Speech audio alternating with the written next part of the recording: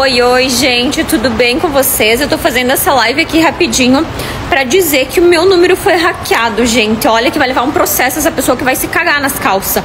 Eu tô picando, tô pé da vida porque todas as mensagens da promoção tava lá. Então, gente, eu vou disponibilizar um outro número aqui para que vocês já encaminhem. Se você já recebeu a tua mensagem até hoje de tarde, OK.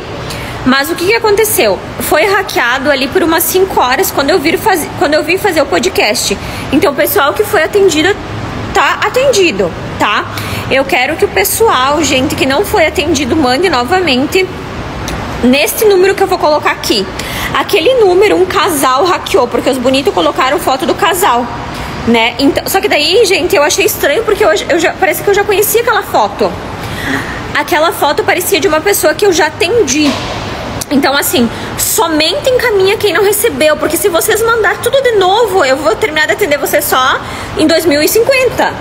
Eu vou deixar um número aqui, você vai repassar essa live para todas as pessoas e dizer que meu número foi hackeado, gente.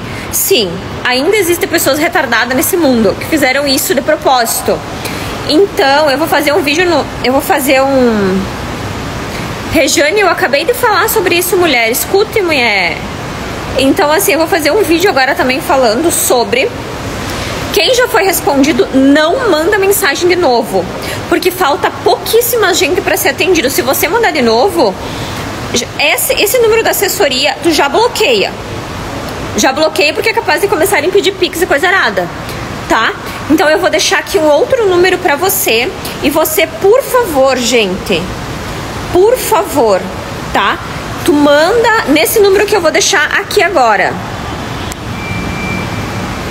Pera aí, gente, que eu já vou colocar, já, já vou colocar o número aqui pra vocês, tá? Só um minuto.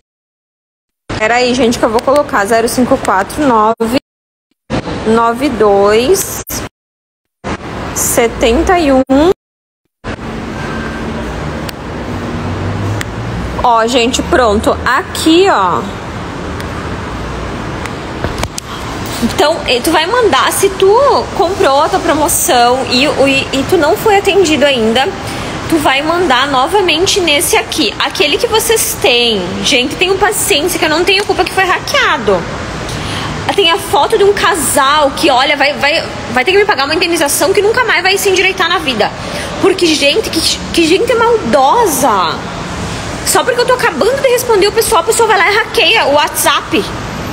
Você que já foi atendido, eu até vou sentar aqui, gente, porque grávida não é fácil. Eu vou conversar com vocês, tá? Então, assim, eu saí do podcast, fui lavar meu cabelo e quando eu cheguei ali, o pessoal começou a falar, Chay, uh... Chá... Mas o que, que tu tá fazendo aqui na minha live, Jaqueline? Mas que barbaridade, gente. Mas sai da live, criatura. Aí, quando eu fui lavar meu cabelo, aí quando eu fui pegar o celular, para começar a responder de novo, eu sem querer eu entrei na foto de perfil e eu vi uma foto de um casal. E eu tentei mudar a foto do casal e não consegui, eu entrei em pânico. Entrei em pânico. Então, eu já vou colocar o post com o número novo para vocês reencaminhar as mensagens somente quem não foi atendido. Combinado? E assim, ó, gente, se esse casal estiver vendo, ó, pode ter certeza que é crime, tá? O que vocês estão fazendo, que não vai ficar por isso, ó. Tenho quatro advogadas criminalistas que trabalham comigo e tu pode ter certeza, criatura, que tu não vai ficar impune, tá? Gente, eu, olha, isso desanima qualquer peão. Eu não acredito que uma pessoa é capaz de hackear um WhatsApp sabendo que eu tô em promoção.